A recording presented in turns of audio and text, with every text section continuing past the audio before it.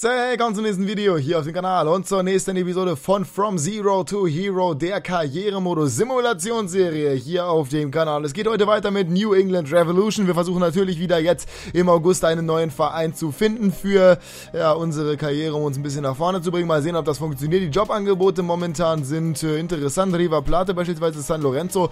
San Lorenzo bewerben wir uns einfach mal. Mal sehen, ob irgendwas funktioniert, aber wir gehen jetzt natürlich erstmal weiter und trainieren unsere Mannschaft.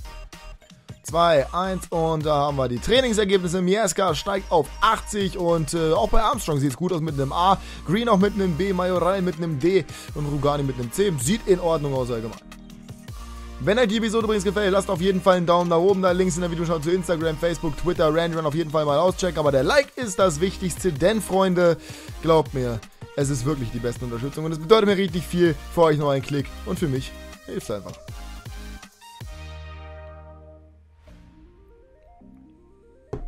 San Lorenzo möchte uns überraschenderweise nicht haben. Egal, dann machen wir erstmal eine Pressekonferenz. Vielleicht wechseln wir ja doch irgendwann mal den Verein.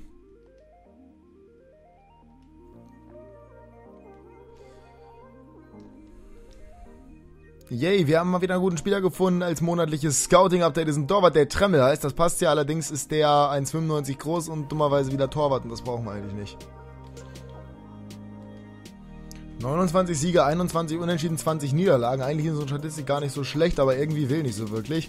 Wir spielen gegen New York und die sind stark. Gerade zu Hause, denke ich mal, mit Wright Phillips, Klestchen und äh, auch Veron und Sam vorne drin. Das ist alles andere als einfach. Sie kriegen zwei gelbe Karten, 14 Minuten durch, noch nichts passiert.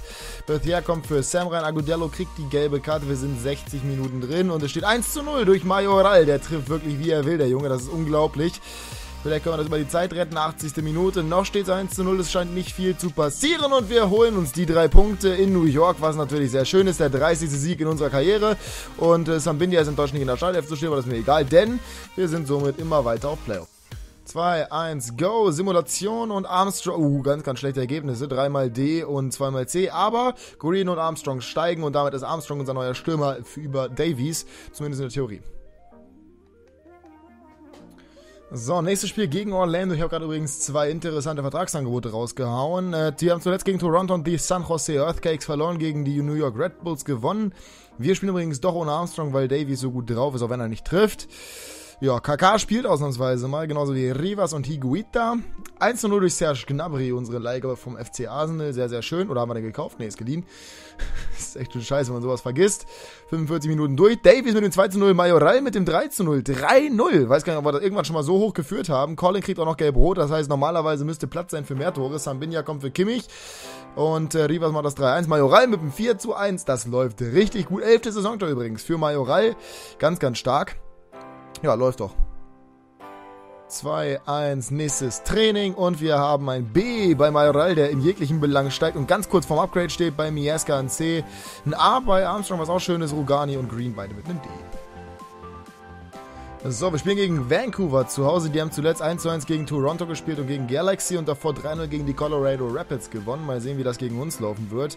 Villafanias kenne ich nicht, Mané ist schnell, Rivero ist nicht schlecht, aber wir haben einen sehr starken Kader und normalerweise sollte da was möglich sein. 25 Minuten durch, Majoral trifft mal wieder, der ist so unfassbar stark, es ist genial. Davies mit dem 2 0 verletzt sich währenddessen, aber ist egal, wir führen 2-0. Davies geht, äh, nee, Armstrong kommt Achso, ach ja, genau. Davis hat auf 10 gespielt. Armstrong geht auf jeden Fall runter. Wilson kommt dafür rein. Ronnie kommt für Davis. Rugani trifft mal 3-0 und Mieska kriegt natürlich mal wieder gelb. Aber egal, 3-0 Sieg. Jetzt läuft's richtig.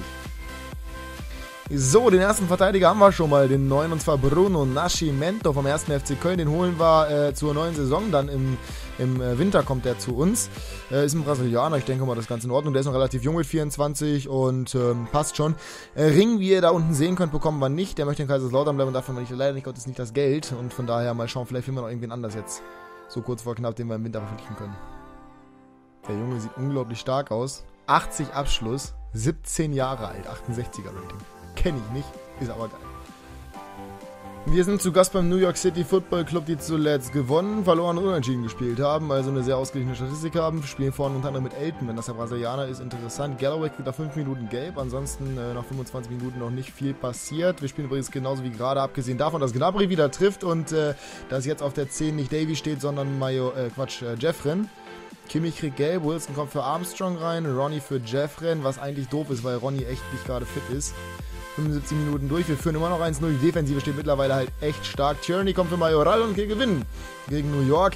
Die Defensive mit Nadi natürlich jetzt ganz neue Qualität. Ja, vorher Shuttleworth, klar, das war Gegendruck kassiert, aber mal so läuft das.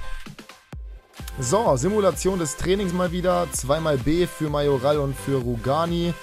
Und dann haben wir ein D für Armstrong, ein C für Green, der mittlerweile im Kader steht, und ein D für Mieska. Wenn uns übrigens kein Verein will, dann gewinnen wir halt diesmal die Playoffs. Dann will uns bestimmt irgendwer haben. Wir haben gerade unseren Linksverteidiger Chris Tierney verkauft, und zwar in den SC Freiburg, haben mehr Geld bekommen und können dementsprechend nochmal gucken, ob wir eventuell noch einen ablösefrei verpflichten können.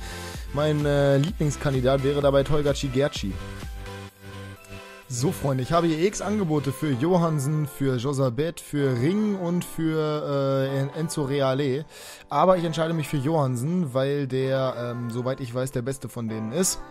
Haben wir jetzt gar kein Geld mehr, also wirklich gar keins. Ähm, aber das ist mir ehrlich gesagt egal, weil jetzt haben wir einen richtig genialen Spieler im Winter und das ist genau das, was ich ganz gerne möchte.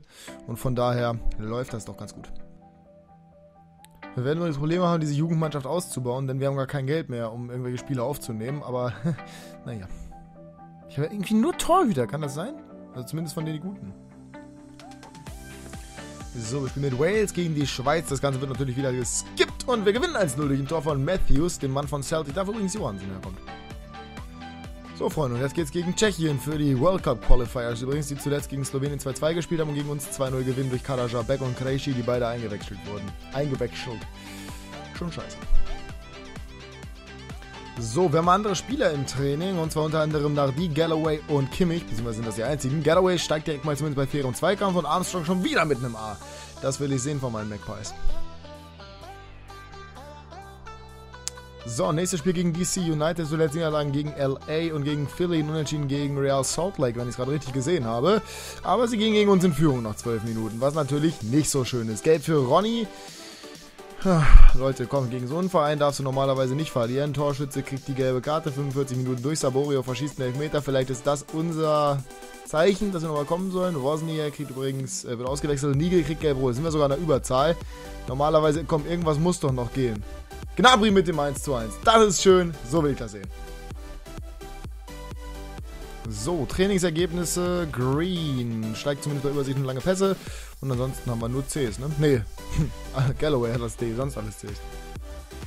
Si Jin Afajali. Ein chinesischer Türke aus Deutschland, den wir leider nicht verpflichten dürfen, weil wir nicht genug Geld haben. Wir brauchen mehr Geld. Wir haben ein Problem. Wir können ihn nicht verpflichten. Wir haben nicht genug Geld.